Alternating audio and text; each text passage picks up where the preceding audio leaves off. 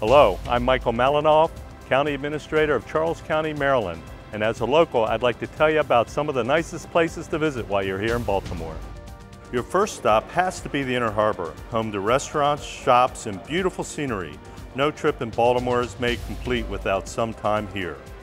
Baltimore's World Trade Center is the world's tallest five-sided building. Also, be sure to visit the amazing National Aquarium. The Baltimore Museum of Art houses the world's largest collection of Matisse paintings in the world.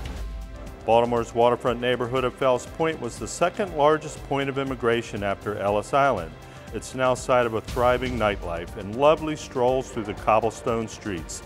This year's conference is all about creating smart communities that last and where people of all ages can live and thrive together. We hope your time here at the ICMA conference will inspire you to do just that in your city and county.